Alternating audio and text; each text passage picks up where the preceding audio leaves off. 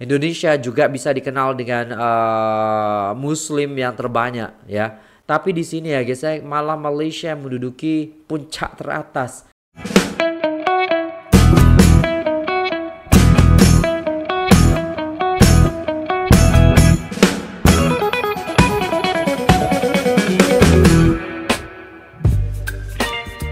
Assalamualaikum warahmatullahi wabarakatuh. Jumpa lagi dengan saya guys Cak Mujib. Gimana kabar teman-teman semua? Semoga sehat selalu Dalam lindungan Allah subhanahu wa ta'ala Dijauhkan dari segala mara bahaya Malapetaka bencana dan bala Serta berbagai macam penyakit. Alhamdulillah kita bisa menikmati nikmat yang Allah berikan pada hari ini. Pak cik mak cik, tuan-tuan, puan-puan, datuk, datin, raja Semua yang dah hadir kat sini Dan nak tengok video saya ni Terima kasih sangat-sangat saya ucapkan pada kesempatan kali ini saya nak membahas tentang hal yang membuat bangga sebenarnya. Ni bab ya kan Malaysia ni berada dalam kedudukan pertama dalam ekonomi Islam global. Kok bisa gitu kan negara Malaysia berada di posisi pertama? Tapi ya kan ah kalau kita tahu semua ni kan Indonesia ni Islam terbesar kan di Asia ni kan kenapa tak dapat posisi yang pertama. Ha, jom kita dengar alasan, jom kita dengar pembahasan daripada Amas ganteng ni guys. Jom kita simak videonya. Let's go. Wow. Oke, okay, bro. Lihat nih statistik soal ekonomi Islam global ya. Jadi menurut gambar di atas, yang namanya Global Islamic Economy Index, GEE, okay. Indonesia ternyata cuma dapat skor 68,5 kalah jauh sama Malaysia yang udah di puncak dengan skor 207,2. Sebentar, Arab Saudi aja guys yang kita kenal ya kan, yang kita banyak tahu bahwasanya Arab Saudi itu uh, kental dengan keislamannya, Uni Emirat Arab, oke okay lah, Uni Emirat Arab kita bisa tahu lah kan. Indonesia juga bisa dikenal dengan uh, Muslim yang terbanyak ya. Tapi di sini ya guys, malah Malaysia menduduki puncak teratas yaitu 207 poinnya gila. Padahal kan kita tahu Indonesia ini negara dengan populasi muslim besar di dunia. Betul. Tapi kok ya produktivitas ekonominya di sektor Islam nggak begitu ngegas. bisa gitu. Jadi gini, dalam penilaian GEE ini ada enam indikator utama yang dinilai. Ada Islamic finance, makanan halal, Muslim friendly travel, modest fashion, farmasi dan kosmetik, oh. sampai media dan hiburan yang ramah Muslim. Nah, Indonesia Oh, media dan hiburan ramah muslim. Berarti di Malaysia masuk, guys. Kenapa rankingnya tinggi? Karena hiburan, ya kan? Dan uh, tayangan-tayangan TV-nya itu mendidik gitu. Mendidik, ya. Bukan yang tidak mendidik gitu. Lebih banyak yang mendidiknya daripada tidak mendidiknya. Ha, berbeda dengan kita. Sinetron, sinetron, sinetron gitu, guys ya. Sehingga anak-anak itu kecanduan dengan sinetron. Tahu kehidupan bagaimana. Aduh, bagaimana ini ya. Indonesia harusnya punya peluang besar nih di sektor-sektor itu karena pasar dan kebutuhannya jelas ada. Betul. Tapi mungkin kendalanya tuh di arah kebijakan dan eksekusinya yang masih belum efektif. Betul. Beda bang. sama Malaysia yang emang serius banget nembangin sektor ekonomi Islam. Terus nih, Arab Saudi sama Uni Emirat Arab juga posisinya masih di atas Indonesia. Iyalah. Mereka fokus di sektor yang sama dan kuat banget di bagian Islamic Finance Islamic karena finance, mereka punya dana minyak yang D, bro. Jadi mungkin kita tahu ya guys ya, bank uh, bank-bank yang ada di Arab Saudi itu kebanyakan memang syariah seperti itu ya guys ya. Ya memang orang-orang ya kental Islamnya gitu ya guys ya. Memang seperti itu dan memang bank di Indonesia tidak seluruhnya itu bank uh, muslim seperti itu ataupun bank syariah seperti itu ya guys ya. Dan saya yakin Indonesia kalau menerapkan apa yang dikatakan oleh banyak juga ustadz-ustadz yang mengatakan bahwasanya Indonesia harus meniru Ustadz Adi Dayat kemarin ya kan. Uh, Ustadz Adi Dayat mengatakan bahwasanya kalau Indonesia bisa meniru Malaysia dengan adanya bank Islam maka insya Allah ekonomi Islam di Indonesia akan semakin baik. Dan juga ya masyarakatnya juga yakin masyarakatnya juga bisa menyokong ya mensupport pedagang-pedagang muslim lainnya ya kan? Nah di Malaysia itu diterapkan seperti itu guys yang saya tahu. Jadi uh, lebih memilih kepada uh, pedagang-pedagang muslim produk produk-produk tempatan dan lain sebagainya. Itu mungkin yang juga merupakan apa namanya uh, faktor di mana dia itu bisa melonjak naik gitu kan. Sedangkan kita ini masih terlalu apa namanya ya guys ya mencinta bukan mencintai sih terlalu uh, banyak keinginan untuk menjadikan barang luar negeri sebagai milik kita bukan daripada orang tempatan seperti itu ya guys ya dan sekarang sudah mulai ya. Kalau sekarang sudah mulai ya. Jadi dengan adanya UMKM dan lain sebagainya itu sudah me, me, menaikkan istilahnya daripada profit-profit ekonomi yang ada di Indonesia itu sendiri. Maksudnya adalah produk-produk lokal seperti itu guys ya. Terbaik lah sekarang itu kan Berbeda halnya kalau dulu-dulu. Kalau sekarang saya mengamati memang betul-betul melihat juga bagaimana perkembangan UMKM ataupun produk lokal yang ada di Indonesia. Karena di sini yang dibahas adalah ekonomi Islam uh, yang lumayan tertinggal kita ini. Tapi saya yakin dengan uh, sekarang sudah merintis seperti sekarang ini, saya yakin ke depannya akan semakin baik lagi ya Insya Allah ya guys ya. Ini yang bikin mereka lebih maju walaupun populasinya nggak sebanyak Indonesia. Betul. Kalau menurut gua ini bisa jadi refleksi buat kita. Potensinya udah ada Betul, Tapi sih. gimana cara kita ngebangun ekosistem yang bisa ningkatin skor dan produktivitas sektor ekonomi Islam di Indo ini. Soalnya kalau lihat negara-negara kayak banget. Singapura aja bisa masuk, padahal Betul. bukan negara Muslim mayoritas, Aha. harusnya Indonesia oh, iya, juga bisa lebih kuat. Loh. Jadi mungkin ke depannya perlu lebih banyak banyak inovasi, kolaborasi sama negara-negara tetangga dan regulasi yang mendukung. Iya betul. Kerjasama Nah, dengan Islam. Jadi kalau dipikir-pikir seharusnya kita bisa belajar banyak nih dari negara-negara yang udah ada di posisi top kayak Malaysia atau Arab Saudi. Malaysia misalnya mereka itu ngegas banget di halal industry. Betul. Mulai dari makanan halal, pariwisata yang ramah muslim, sampai fashion dan kosmetik yang islami.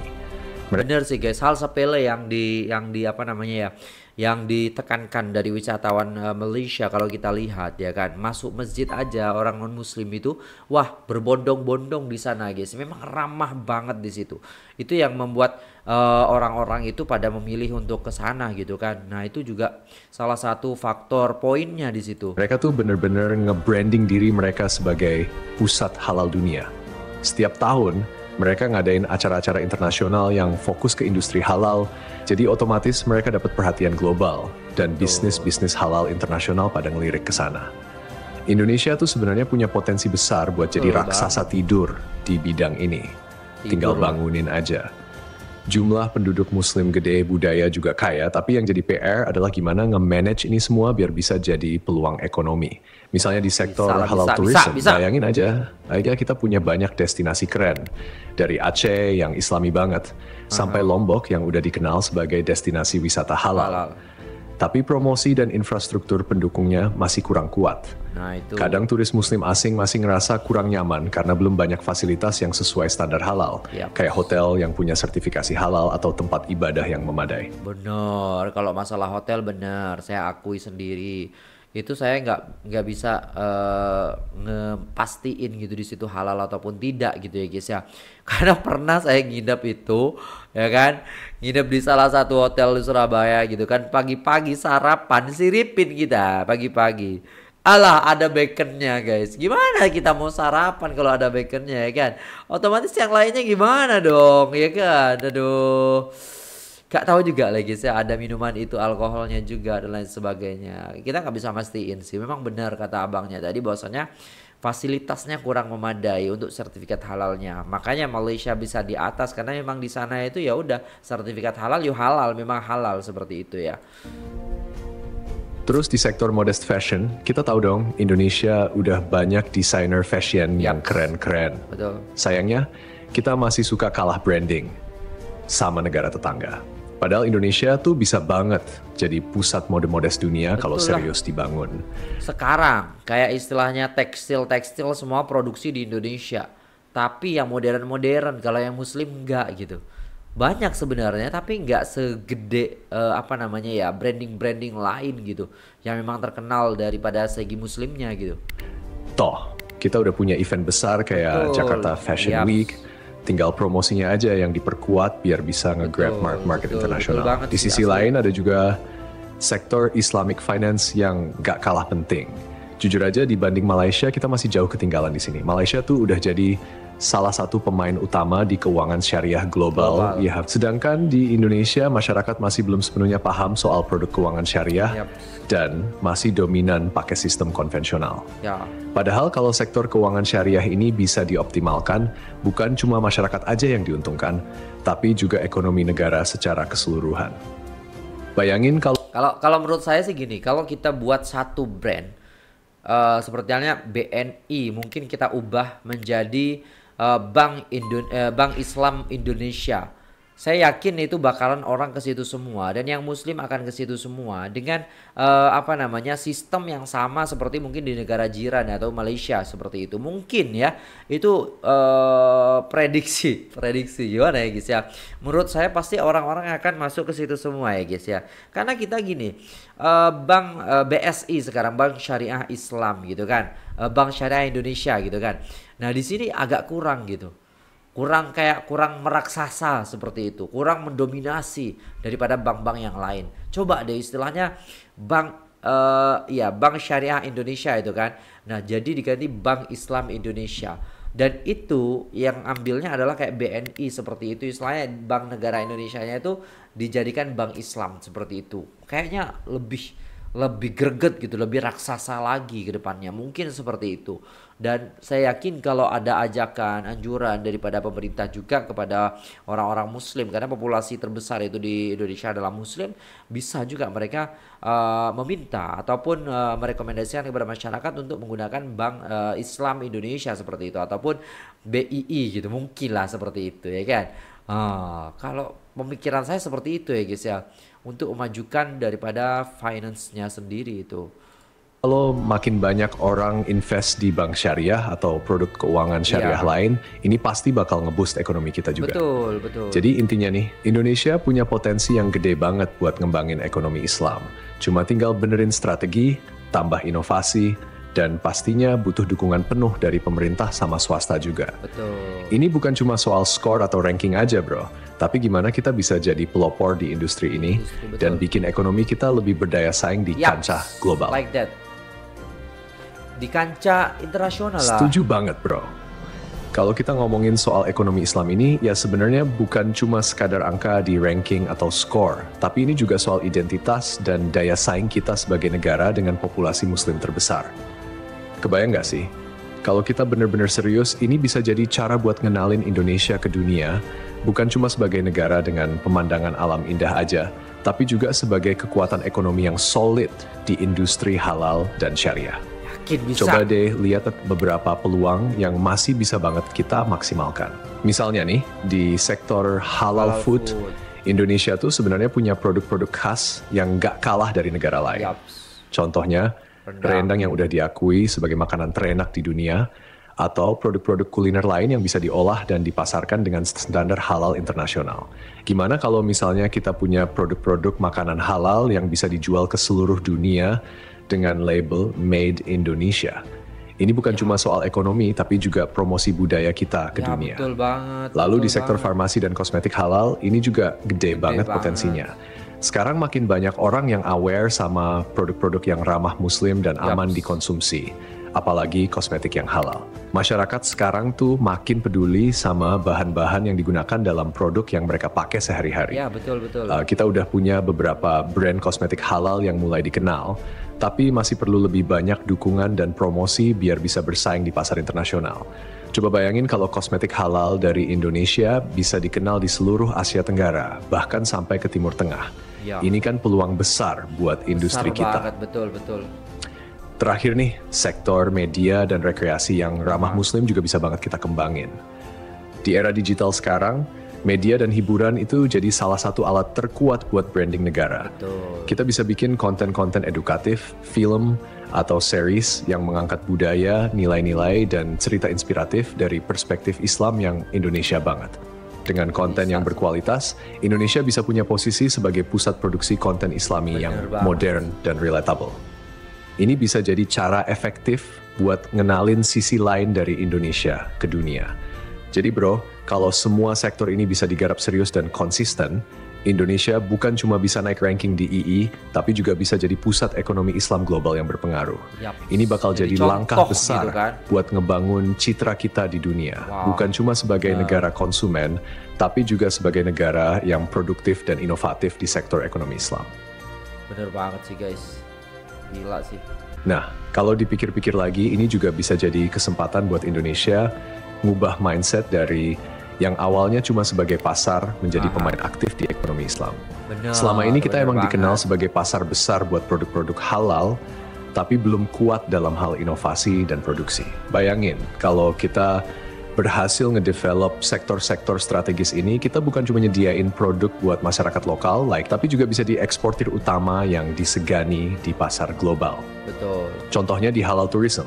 Kalau kita benar-benar invest di infrastruktur dan standar layanan yang sesuai dengan kebutuhan turis muslim, Indonesia bisa jadi destinasi wisata halal nomor satu. Bayangin Bahkan kalau misalnya ya. Bali, um, Lombok, atau Aceh punya standar layanan yang nggak nggak cuma indah secara alam, tapi juga nyaman secara spiritual buat turis muslim dari seluruh dunia. Harusnya sudah uh, pemerintah sudah tahu gitu kan potensinya sangat besar gitu kan. Di antara uh, tempat-tempat tadi Bali ya kan Aceh, Lombok itu menjadi uh, daya tarik tersendiri. Bahkan untuk menarik semua wisatawan yang ada di Indonesia itu pun sudah sangat-sangat cukup sekali. Apalagi dibantu dengan wisatawan-wisatawan yang ada di luar negeri gitu. Mungkin dengan wisata-wisata seperti ini kayak tiket lebih murah dan lain sebagainya pasti ya kan untuk produk uh, penduduk lokal itu bakalan uh, apa namanya ya eh, berbondong-bondong ke situ seperti itu. Dan juga dengan infrastruktur yang memang pemerintahan yang di sana itu sudah oh ini nih potensinya sangat besar. Jadi memang harus ya memang di- di- didahulukan seperti itu untuk menjadikan istilahnya eh, wisata tempat yang memang eh, diminati oleh banyak orang. Seperti itu ya guys ya. Ada fasilitas musola, restoran Ya, bersertifikat halal, sampai tempat ibadah yang mudah Kalau menurut saya kalau masjid-masjid terutama di Lombok Aceh itu memang bagus-bagus semua di sana ya guys. Ya mungkin infrastruktur yang lain yang lebih istilahnya lebih safety, lebih ramah muslim dan lain sebagainya mungkin lebih diutamakan seperti itunya. diakses. Ini bisa Mudahnya, menarik ya, wisatawan betul. dari negara-negara kaya di Timur Tengah atau bahkan Eropa yang pengen liburan, tapi juga tetap nyaman dalam Nyaman. menjalankan kewajiban ibadah. Betul. Selain itu, sektor keuangan syariah tuh penting banget buat digenjot. Betul. Gini deh, financial literacy kita masih rendah banget, jadi produk-produk keuangan syariah pun belum banyak dikenal. Ya. Padahal keuangan syariah ini punya nilai-nilai yang cocok sama prinsip masyarakat kita, yaitu adil, transparan, dan menghindari riba. Betul. Kalau kita bisa nge-boost uh, selain edukasi soal keuangan syariah, nggak cuma masyarakat yang bakal untung, tapi juga perekonomian kita, kita, betul, yang Bang. bakal lebih stabil. Bayangin aja, semakin banyak orang yang terlibat di sektor ini, semakin besar pula potensi kita buat ngebangun ekonomi berbasis syariah yang mandiri dan kuat. Betul, Nah, Bang. balik lagi ke soal modest fashion. Ini juga bisa jadi identitas kita di dunia internasional. Kita tuh udah punya banyak desainer lokal yang karyanya luar biasa Luar dan banyak digemari. sampai ke dunia Tapi gitu sayangnya brand kita masih kalah pamor Nah, dibanding negara-negara lain. Harusnya pemerintah bisa bantu promosiin karya anak bangsa ini ke pasar internasional. Yaps. Kayak lewat pameran fashion internasional atau event global lainnya. Kalau modest fashion kita bisa go international, nggak cuma Bisa. nambah devisa. Tapi juga ngenalin budaya dan nilai-nilai lokal kita ke dunia. Dan terakhir, gue rasa penting banget buat semua pihak buat ngeh bahwa ekonomi Islam ini bukan cuma soal agama, tapi soal inovasi, teknologi, dan kolaborasi global, global. ya. Kita perlu lebih banyak kolaborasi antara pemerintah, pelaku industri, dan juga akademisi buat riset dan inovasi di bidang ini. Bayangin kalau kita punya uh, platform khusus buat inkubator bisnis halal atau teknologi yang mendukung ekonomi Islam, pasti industri kita bakal jauh lebih maju Yap. kolaborasi dengan negara-negara yang udah maju di bidang ini kayak Malaysia atau Turki juga Bakal ngebantu membantu kita sih, buat betul. belajar dan memperkuat pondasi ekonomi Islam kita. Jadi kesimpulannya ini bukan cuma soal Indonesia sebagai negara dengan penduduk muslim terbesar, Besar. tapi soal gimana kita bisa memanfaatkan potensi ini jadi kekuatan ekonomi yang konkret dan berkelanjutan. Kalau kita bisa ngegabungin inovasi, branding, dan kolaborasi, gue yakin ekonomi Islam di Indonesia bakal jadi sektor yang kuat dan berpengaruh di dunia. Alright guys, dan itu tadi ya guys penjelasan daripada Bang Amas Ganteng tentang pembahasan populasi muslim terbesar, ekonomi Islam tertinggal. Kapan Indonesia bangun ya? Sebenarnya ya tinggal dibangunin aja, sebenarnya tinggal dibangunin aja karena kita itu udah semuanya udah ready ya kan? Ah, konsumennya iya ada gitu kan. Cuman kita kurang produktif aja sekarang.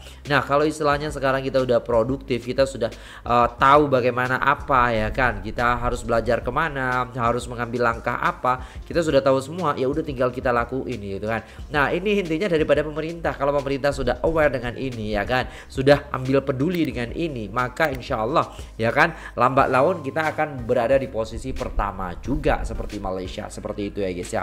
Ya terima kasih buat teman-teman semua yang sudah nonton video ini sampai selesai. Tania kepada Malaysia karena menduduki posisi pertama ya guys ya.